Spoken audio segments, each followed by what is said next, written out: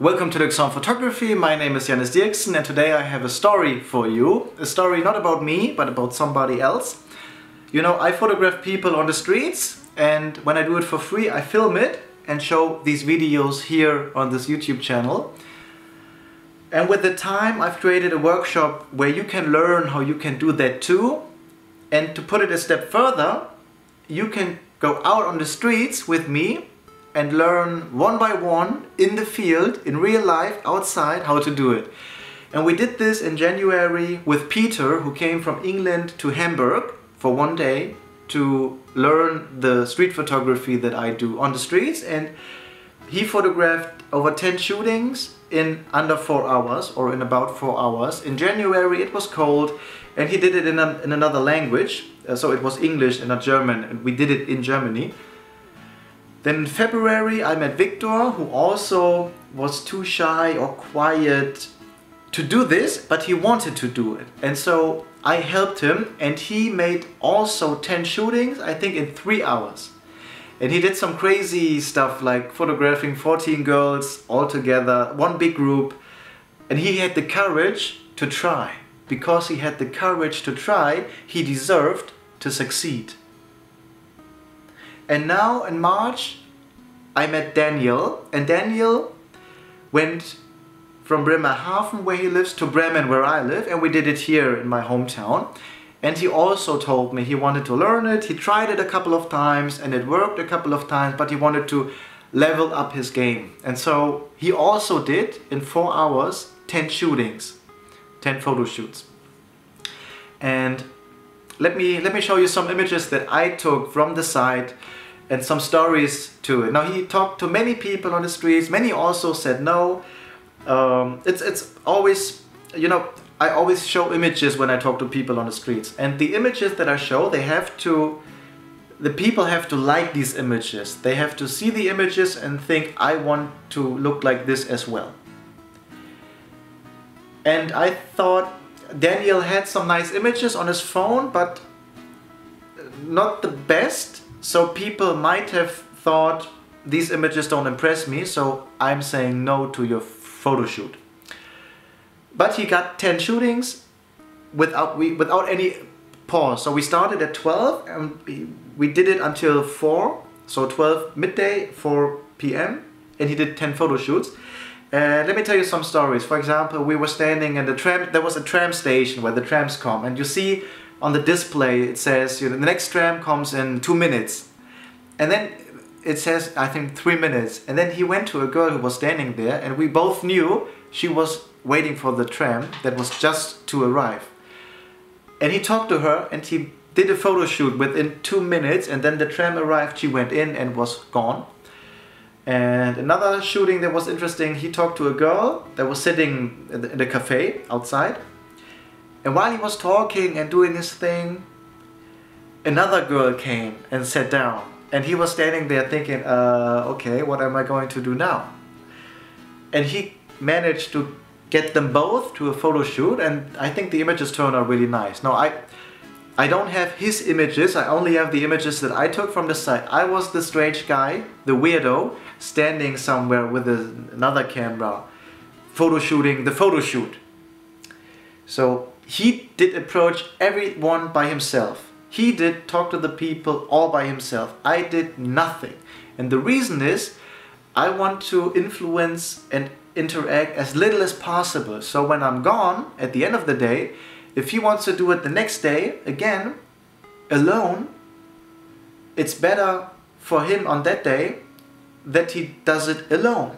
If I help him to talk to people, he might not do it when he's alone.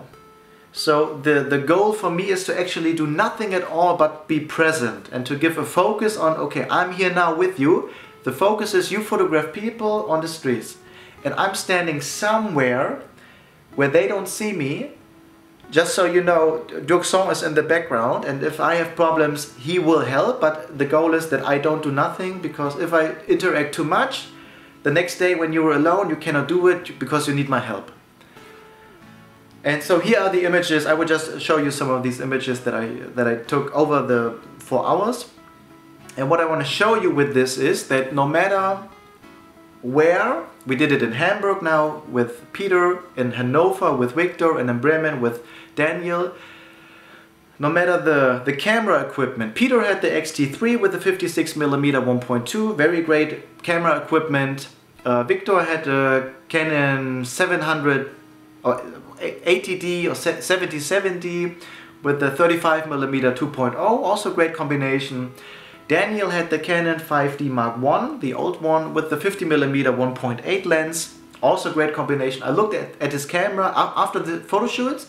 I said to him, show me your camera, just so I see how you set up the camera, if it's uh, how the images look like. And they look really beautiful. Now, all the images you see here are my images that I took from the side of the photo shoot.